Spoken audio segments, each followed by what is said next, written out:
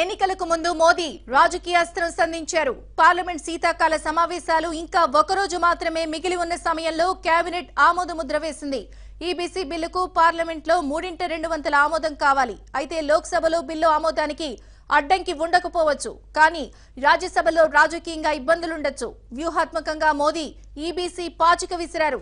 ఏపీలో కాపులు ఉత్తరాదిలో జాట్లు పటేళ్ళు లాంటి ఉన్నత సామాజిక వర్గాలు కూడా కోటాకు డిమాండ్ చేస్తున్న సమయంలో ఈబీసీ అస్త్రం రాజకీయంగా మంటలు మండించబోతోంది.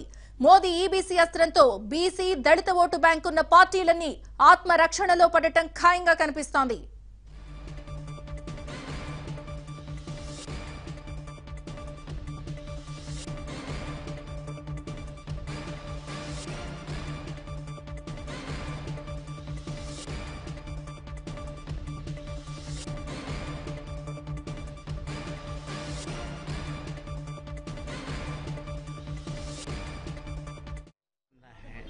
आरक्षण जो है, आर्थिक स्थिति को सुधारने के लिए नहीं है। आरक्षण का प्रावधान बाबा साहब ने इसलिए किया था कि जो सदियों सदियों से जो वन व्यवस्था जो कायम थी और जिस प्रकार से जो भेदभाव छुआछूत जो हुआ करता था, जन भागीदारी की जहाँ तक बात थी रिप्रेजेंटेशन होनी चाहिए ऐसे समाज में back bencher of the societies की, जहाँ एक बराबर के नज़रिए से लोगों को एक अधिकार मिले, इसके वजह से ये आरक्षण प्रावधान किया था। आर्थिक स्थिति सुधारने के लिए आरक्षण नहीं है। आर्थिक स्थिति से अगर अ, उसको ठीक करना था तो नरेंद्र मोदी जी को बोलते ना भाई पंद्रह पंद्रह लाख रुपए हर एक के खाते में डाल दीजिए। हर देश के हर लोगों को मिल जाता। और दो करोड़ नौजवानों को रोज़गार दे देते। अगर आर्थिक स्थिति अगर सुधारनी होती तो। और जो जातीय जनगणना जो हुई है शैक्षणिक तौर पे आपका आर्थिक तौर पे जातीय तौर पे, वो जो है, वो सामने रखना चाहिए था, जनगणना को सामने रखना चाहिए था। और जहाँ तक पचासी फ़ीसदी जो लोग हैं, उनको मात्र जो है, आप देखिएगा कि कितना कम आरक्षण है, बल्कि बढ़ना उनका चाहिए था। और जिस प्रकार से जो 50 परसेंट जो है, वो उसका लाभ कौन उठा रहा है? जो बाकी के जो 15 परसेंट लोग हैं 50 परसेंट लाभ कौन उठाने का काम कर रहे हैं? वही लोग उठाने का काम कर रहे हैं।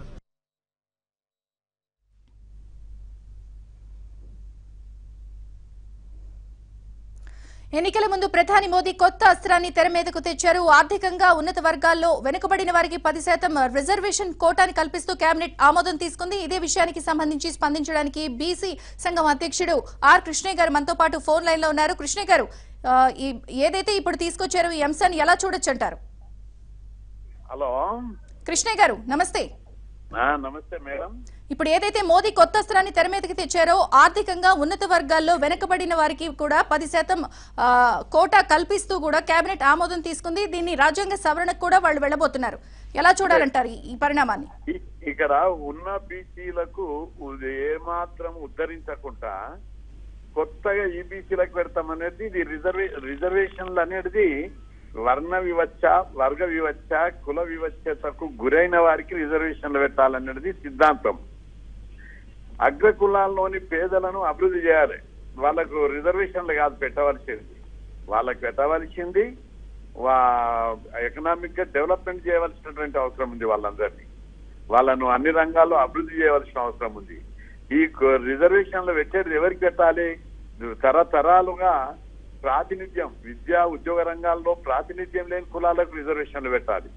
వివచ్చతకు సమాజంలో సామాజిక వివచ్చతకు కుల వివచ్చతకు గురవుతున్నటువంటి వర్గాలకు రిజర్వేషన్లు పెట్టాలి. ఆ విధంగా పెట్టాలి కానీ రాజకీయ ప్రయోజనాల కోసం ఓటు బ్యాంక్ కోసం మేము వాళ్ళకు ఈబీసీలకు పెడతాం వీళ్ళకి పెడతామంటే పెట్టుండి అయితే మేము కూడా ఒక సవాల్ ఇస్తున్నాం ప్రభుత్వానికి ముఖ్య ప్రధానమంత్రి గారికి. ఎవరి జనాభా ప్రకారము వాళ్ళకు రిజర్వేషన్లు పెట్టాలి. Uh, ఎందుకంటే అగ్రకులాల జన ఇప్పుడు బీసీల జనాభా యాభై రెండు శాతం ఉంది దేశంలో. యాభై రెండు శాతం పెట్టు. అవి అగ్రకులాల జనాభా ఎంత ఉంటుందో వాళ్ళ జనాభా ప్రకారం వాళ్ళకి పెట్టు. కానీ వాళ్ళకు ఇప్పుడు మన రాష్ట్రం తెలంగాణ రాష్ట్రం చూసినట్టయితే ఈ అగ్రకులాలు ఓన్లీ తొమ్మిది పాయింట్ ఎనిమిది శాతం ఉన్నారు. వాళ్ళకి పది శాతం అంటే జనాభాకి మించి పెట్టినట్టయితది. రెండవది బీసీలు ఎంతమంది ఉన్నారు? యాభై రెండు శాతం ఉన్నారు. ఇలా యాభై రెండు శాతం ఉంటే ఇరవై ఐదు శాతం తగ్గి రిజర్వేషన్లు ఉన్నాయి. పంచాయత్ రాజ్లో యాభై ఆరు శాతం ఓటర్లు ఉంటే ఇరవై రెండు శాతం పెట్టారు. అడుగు అడుగున ఇంతవరకు ది- సర్పంచులు కాని వాళ్ళు వార్డు మెంబర్ కాని కులాలకేమో పక్కకు పెట్టి ముఖ్యమంత్రులు ప్రధానమంత్రులు అయినటువంటి కులాలకు మేము రిజర్వేషన్లు పెడతామనడము సరైనటువంటిది కాదు. దీన్ని సమాజం కూడా స్వీకరించదు. ఎందుకంటే ఉద్యోగాలు భర్తీ చేయకుండా రిజర్వేషన్లు పెట్టి ఎవరిని ధరిస్తారు కేంద్రంలో పద్నాలుగు లక్షల ఉద్యోగాలు ఖాళీలు ఉన్నాయి. వాటిని భర్తీ చేయాలి. రాష్ట్రంలో రెండు లక్షల ఉద్యోగాలు ఉన్నాయి. వాటిని భర్తీ చేయాలి. ప్రపంచ చరిత్రను కూడా చూసినట్లయితే మనం రిజర్వేషన్లు మన దేశంలోనే కాదు. ఇతర దేశాల్లో కూడా రిజర్వేషన్లు ఉన్నాయి. ఈ అమెరికా లాంటి దేశాల్లో నల్లజాతి వారికి ఆఫ్రికా ఖండంలో నల్లజాతి వారికి వర్ణ వివక్షత గురవుతున్నారని వాళ్ళకి రిజర్వేషన్లు పెట్టింది కానీ తెల్ల జాతిలో కూడా బీదోళ్ళు ఉన్నారని రిజర్వేషన్లు పెట్టలేదు అక్కడ. కాబట్టి రిజర్వేషన్ల సిద్ధాంతము సామాజిక వివక్ష కుల వివక్షతకు గురవుతున్నటువంటి వాళ్ళకు అధికార విద్యా అధికారం ఇచ్చి ఆ కులాలను డెవలప్ చేయడానికి రిజర్వేషన్లు పెట్టేది తప్ప ఎకనామిక్గా డెవలప్ చేయడానికి కాదు. రిజర్వేషన్లు పేదరిక నిర్మూలన పథకం కాదు. ఆయా కులాలకు సమాజంలో ఇంతవరకు విద్యా ఉద్యోగ రంగాల్లో ప్రాతినిధ్యం లేనటువంటి కులాలకు ప్రాతినిధ్యం కల్పించడానికి చదువుకోవడానికి రిజర్వేషన్లు ఉద్యోగాలలో ప్రాతినిధ్యం కల్పించడానికి రిజర్వేషన్లు పెట్టారు.